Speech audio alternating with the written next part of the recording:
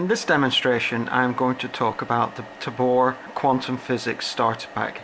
It consists of the Proteus 1.25 gigasample arbitrary waveform generator and the Lucid 12 gigahertz RF signal generator. To make the demonstration work I'm also using a quantum microwave IF mixer so we've got the arbitrary waveform generator feeding the IF input and we have the signal generator feeding the LO and we're using the optional digitizer today on the Proteus arbitrary waveform generator to show some of the signals that we're going to generate.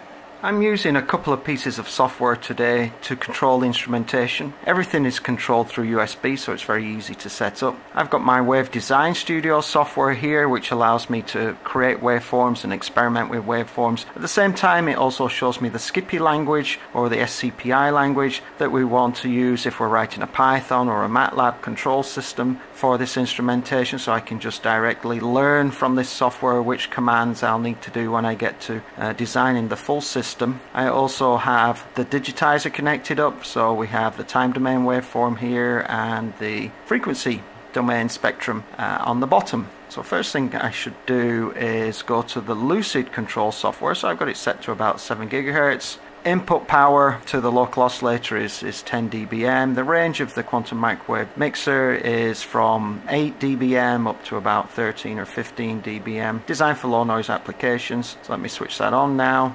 And you can see at the bottom here in the frequency domain I have some LO feed through. Pretty low which is good. So why don't I now go to Wave Design Studio and select some modulation. Uh, so first of all let me select uh, some low frequency modulation. Click on here. So I'm selecting this this time domain waveform. And if I look at it on the digitizer you can see now that we've superimposed the amplitude modulated signal of this onto the carrier wave which is at 7 gigahertz. And if you look closely here you can see that there's some sidebands. Why don't we use a sine wave of a higher frequency now and now you can see our sidebands are much further apart as you can see we have the LO feed through we have the lower sideband and we have the upper sideband the lower sideband is higher in amplitude than the upper sideband and that's by design with this type of mixer. What we should do next now is create a Gaussian pulse and then modulate that onto the signal. So I think I have got one saved here in this waveform and there you go. Now you can see here in the time domain signal I've got a string of, of Gaussian pulses. You can see them here in the frequency domain plus and minus the 7 gigahertz carrier. I can also do different sequences of modulated pulses. I can change the phase of each one, you know, by pi, by pi over 2, you know, consecutively. I can create a reasonably good quantum control and readout system with this bare